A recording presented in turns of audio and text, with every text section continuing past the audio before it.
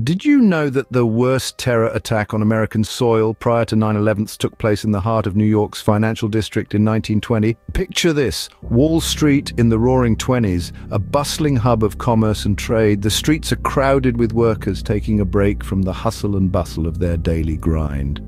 A horse-drawn carriage trundles along, seemingly no different from any other vehicle on the road, but as the carriage halts outside the US Assay office, directly across from the JP Morgan and Company building, the driver mysteriously vanishes.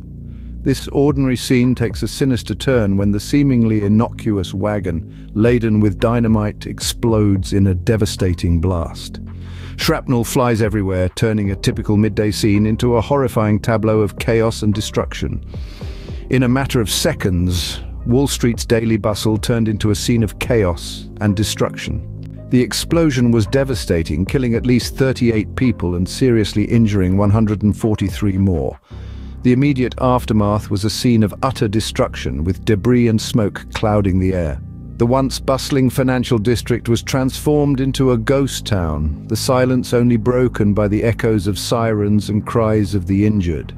The impact was not only physical but also psychological as fear and confusion gripped the city.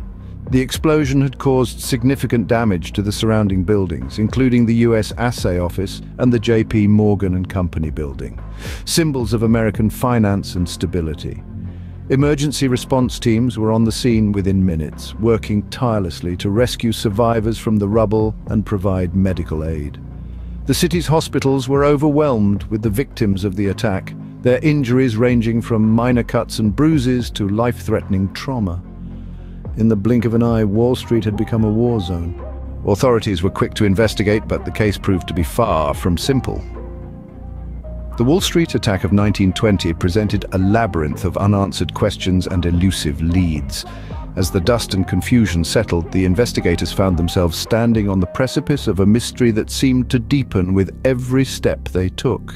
In the wake of the tragedy, a multitude of theories cropped up like wildflowers amongst the ruins. Some pointed fingers towards anarchist groups drawn by the symbolism of attacking the financial heart of the nation. Others suspected foreign enemies, while a few even ventured to suggest it was an inside job, a plot hatched within the very walls of Wall Street itself. Yet, Despite the swirling vortex of suspicion and conjecture, no individual or group ever stepped forward to claim responsibility. An eerie silence hung over the investigation, as if the culprits had vanished into thin air, leaving only destruction in their wake. Investigators worked tirelessly sifting through the wreckage, interviewing witnesses, and following every lead, no matter how faint. Still, the case remained stubbornly unsolved. As the months turned into years and years into decades, the Wall Street attack of 1920 slipped from an active investigation into the annals of unsolved mysteries. Despite the best efforts of investigators, the Wall Street attack of 1920 remains one of America's most infamous unsolved cases. It's a chilling reminder that even in the heart of the world's most powerful nation, some secrets remain locked away, haunting us with their silence. Uh, nearly a century later, the Wall Street attack of 1920 remains a stark reminder of the threat of domestic terrorism. This event, often overshadowed by more recent attacks, nonetheless has left an indelible mark on the American psyche and the nation's approach to security. A horse-drawn carriage laden with dynamite detonated in the heart of the financial district sent shockwaves through the country, both literally and figuratively. The death and destruction that day highlighted the vulnerability of even the most secure locations. In the wake of the attack, a significant shift in America's security measures began to take shape. It was a wake-up call, a grim indication that the threat of terrorism wasn't just an overseas issue, but could strike at home, in the heart of the nation's largest city.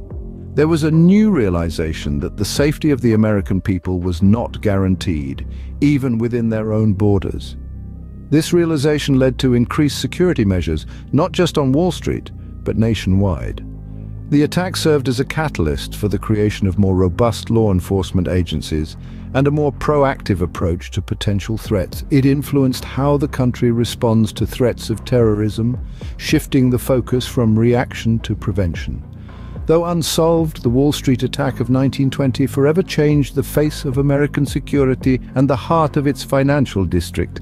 It taught us that vigilance is not just a virtue, but a necessity in the face of an ever-evolving threat landscape.